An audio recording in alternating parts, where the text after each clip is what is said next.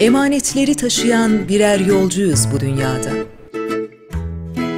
Bir emanetimiz de var ki karşılık beklemeden sever bizi.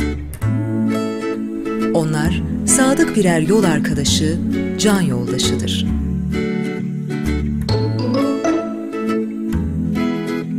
Onlar Rabbimizin sessiz kullarıdır.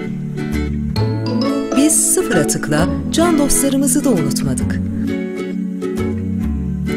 6 ayda 1040 kilogram yemeği hayvan dostlarımızla paylaştık.